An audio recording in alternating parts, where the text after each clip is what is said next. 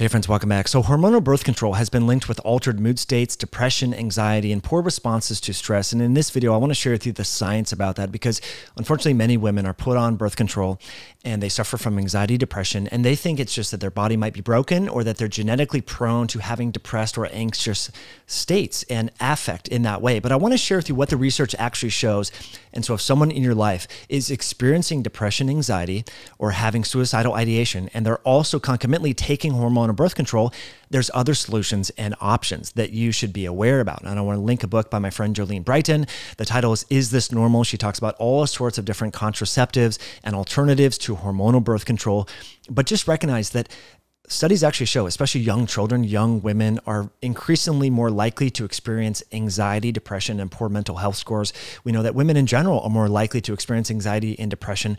And so when we alter their hormones by use of hormonal birth control agents, which can come in the form of the pill, also hormonal bearing IUDs, these are actually quite common among women. We know that the copper IUD does not have synthetic progestins, but most of the hormonal bearing uh, IUDs do have progestins, and some also have estrogens. And the use of these compounds has been shown to change the way that the human body responds to stress in women. And this is important to recognize. There was a paper here in JAMA Psychiatry titled Association of Hormonal Contraception with Depression. And unequivocally, the research shows that users of hormonal birth control of all different types, whether it's the pill, whether it's hormonal bearing IUDs, have more are more likely to be depressed. There's several studies here. This study actually is really fascinating. We're going to spend a little bit of time diving into this one. This was published last summer in Hormones and Behavior. The title here is Hormonal Contraceptive Use in Young Women, Altered Mood States, Neuroendocrine and Inflammatory Biomarkers what was unique about this study of 388 some odd women, about half of them were on hormonal birth control, the other half were not. And they exposed these women to situations that would invoke fear or stress, having cockroaches and different insects and spiders in a controlled laboratory setting that have been shown in prior studies to induce a stress response. And it was really interesting physiologically between hormonal birth control users and non users. And what they found is that females using hormonal birth control displayed elevated depression and stress scores. Contraceptive users had elevated C-reactive protein as well as plasma cortisol. So we hear so much about how, well, don't intermittent fast, it raises your cortisol. Oh, don't go in the cold plunge, it raises your cortisol. High intensity interval training is bad for women because it raises cortisol. Where are the people talking about how hormonal birth control is bad because it raises cortisol? I want to share with you this research. It's just incredible. And so we know that by changing progesterone and estrogen levels in women, that does change the entire hypothalamic pituitary adrenal axis and thereby maybe increasing perceived stress in certain situations, such as a stressor. So, this study showed that oral contraceptives are used by millions of women worldwide, yet there are questions regarding the psychosocial and behavioral consequences of these commonly prescribed medications. Considering that sex steroid hormones can regulate neuroendocrine and behavioral responses to stress, the current study examined mood and stress symptomologies, as well as circulating levels of cortisol and inflammatory biomarkers such as C-reactive protein and interleukin 6 in young women. There was 388 women in the study, 47% were using some form of hormonal birth control. Again, whether it's an IUD that has progestins in it or estrogens or also the pill. Women using hormonal contraceptives displayed significantly higher depression and stress scores compared to non-users, whereas no differences were found for anxiety symptoms. Moreover, contraceptive users had markedly elevated plasma cortisol and C-reactive protein levels in comparison to non-users. Upon assessment, women at different phases of their menstrual cycle, hormonal contraceptive users displayed higher levels of cortisol compared to women in the follicular and luteal phases, in addition to higher C-reactive protein levels.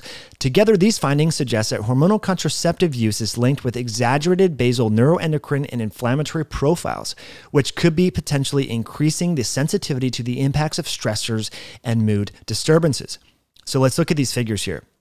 As you can see, the non-users have a cortisol level, and this was prior to the stress induction of around 40 picograms per ml. And the hormonal birth control users have literally double the amount of cortisol double. This is insane. Now, this is just in a stress neutral situation and controlling for time. So, this was statistically significant here. If you look over to the right, C reactive protein, basal C reactive protein in non users was 1.25 milligrams per liter. In the hormonal birth control users, it was 3.69. Look at the difference in the inflammatory profiles. Because we know that synthetic progestins and synthetic estrogens are not the same as biologically identical progesterone and estradiol that, that the ovaries actually make in the female body. So it's important to recognize that when you're taking these hormones, these are not bioidentical and they are augmenting neuroendocrine functions, stress response, as well as inflammatory responses.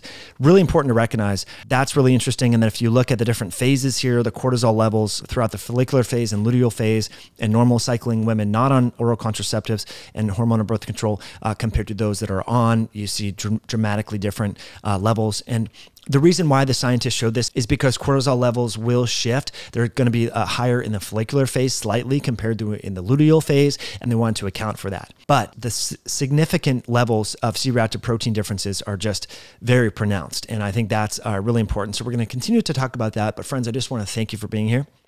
If you're enjoying this content, please hit that like button. Be sure to share this video as a direct text message with a friend. If they're on a hormonal IUD, if they're on the pill, they're on a patch, they need to know, especially if they're feeling anxious or depressed or have a propensity for anxiety and depression because of a family history or prior trauma or things like that. You need to be aware of this. Also, a natural tool that can help calm your mental state and help you get a good night's sleep is the MyoRelax and Calm by Myoxcience. What's unique about this micronutrient blend in a powdered drink mix is it features myo-inositol, which is really great for women, as well as taurine, L-theanine, GABA, plus you're getting potassium and L-glycine, all of which are synergistic nutrients that are restorative that can help induce a calm, relaxing physiological state. So instead of turning to alcohol or turning to stimulants in the evening time, you can use MyoRelax and Calm as a mocktail that can help support a relaxed mood and deep sleep. You can go over to the URL myoxcience.com. That's myoxcience with an X, M Y O X C I E N C E.com. There's over 200 reviews on this really novel formulation that helps support metabolic health as well as a calm mood and also electrolytes as well because you have the magnesium, you have the potassium, you have L-glycine, you have taurine, you have all these different nutrients that are restorative and the taste is phenomenal. You can save using the code podcast at checkout over at myoxcience.com and the updated and improved MyoRelax and Calm.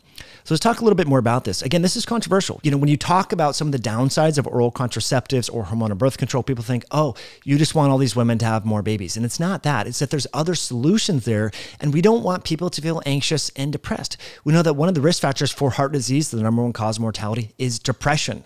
Yes, depression increases your risk for dying from all causes, particularly from cardiovascular disease. So if you're walking on anxious, depressed, and have an exaggerated response to life stressors, work stressors, you are more likely to not have a good quality of life. We have to weigh quality of life. And so if you are, have been using hormonal birth control and you're anxious and depressed, understand this research. This was a, a, paper that was published in September of 2020 titled Hormonal Contraception and Depression Updated Evidence and Implications in Clinical Practice. The scientists say that women with a history of mood affective disorders or premenstrual dysphoric syndrome are at higher risk when taking oral contraceptives for having depression after taking these compounds. And they say the main pathway responsible for menstrual cycle related changes is gamma butyric acid. So this is GABA. So we know that when individuals are going through uh, their menstruation, we know that there's changes in the neurotransmitter GABA which is sensitive to changes in the levels of progesterone and its metabolites, the neurosteroids. In particular, allopregnanolone is a potentiating neurosteroid with anxiolytic, that is, anti anxiety effects, as well as anticonvulsant effects, with those levels changing during the normal menstrual cycle. Progestins have a different effect on allopregnanolone, mainly owing to the diverse androgenicity. So, progestins are more likely to get converted to androgens, and they do not get converted to allopregnanolone that can increase levels of GABA in the brain. And this might be why women who take hormonal birth control, again, whether it's an oral contraceptive or the hormonal based IUD, might be more prone to anxiety, having sleeplessness, and having problems with stress management because there's not that conversion of natural progesterone into allopregnanolone, which has been shown to increase GABA. So that's one important mechanism. The scientists say, furthermore, emotional lability, irritability, and episodes of affective disorders such as depression or mood changes are also common reasons given by women for discontinuing effective hormonal birth control, often within the first three months of use, suggesting psychologic effects of these drugs. Nevertheless, despite the large number of studies, there's still lack of agreement on the effect of hormonal birth control and mood disturbances, with evidence for mood deterioration as well as mood improvement or stabilization, because the studies are all over the place based upon someone's prior health history. They continue to say among progestins, LNG is the most studied. That is often found in IUDs, by the way. LNG is a synthetic progestin, and it's a second generation progestin that binds with a high affinity to progesterone, androgen, and mineral corticoid receptors, but not estrogen receptors. And so LNG is widely used in the currently prescribed hormonal birth control and contraceptive pills, but it's also part of the intrauterine devices like the IUDs. And so what we're seeing here is a reduction in androgens as well.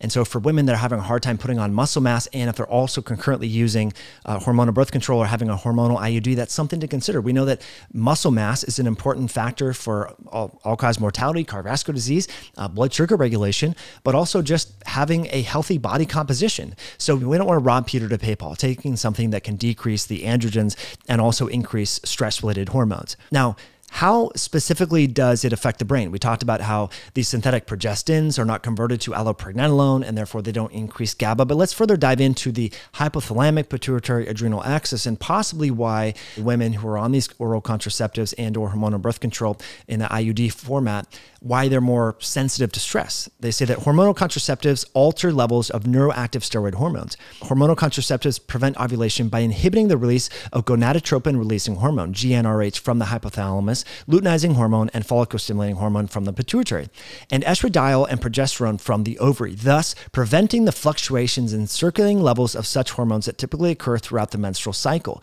Furthermore, hormonal contraception prevent the increase in serum levels of pregnenolone, testosterone, and progesterone. Hormonal contraceptives alter neurotransmitters, neuropeptides, and circadian rhythms. Really important stuff. Again, for people that have issues going to bed on time or feeling like their mind is racing at two or three in the morning and they need to get all this productivity done. And then sometimes they just crash. The circadian rhythm imbalance can be induced in part by taking hormonal contraceptives. So, regulation of the HPG axis, the main target of hormonal contraception, is under the control of different neurotransmitters, including GABA that we talked about earlier, glutamate, the monoamines, acetylcholine. Furthermore, the hypothalamus is also the brain area where the circadian clocks controlling biologic rhythms are located. So you screw up the circadian rhythms by impacting the HPAG axis, that is the hypothalamic pituitary adrenal gonad axis. You're inserting, whether it's through an IUD or orally, the synthetic progestins and estrogens. You're screwing up the HPAG axis and thereby also augmenting circadian rhythm function what is another profession or what's another situation where we have an augmented impacted circadian rhythm function in shift workers? They don't call it the graveyard shift because it helps you live longer and healthier. They call it the graveyard shift because most people live a have a higher risk of cancer and all cause mortality right? Well what if we are compromising long term health and vitality in women by giving them hormonal contraception because we're altering the circadian rhythm. Because we know that the SCN, the suprachiasmatic nucleus, is in the hypothalamus. And we're augmenting this entire system with these agents, and that might impact sleep, sleep regulation, and sleep quality. Really important stuff. I hope you think this is interesting because uh, these papers are just fascinating. One more paper I want to share with you. Uh, this was actually just published in January. The title of this is Psychological Side Effects of Hormonal Contraception A Disconnection Between Patients and and providers. That is, patients frequently report that they feel depressed and anxious, and doctors like, mm, well, you still need to be on some hormonal contraception. So, this was a survey of 188 responses that was included in this analysis. 43.6 reported experiencing mood changes as a side effect of hormonal contraception at some point in their lives. The most common reasons participants cited for discontinuing or switching contraception methods was the side effects. Participants with a history of psychiatric illnesses were more significantly likely to report uh, mood changes as a result of their hormonal contraception. That was about 61%.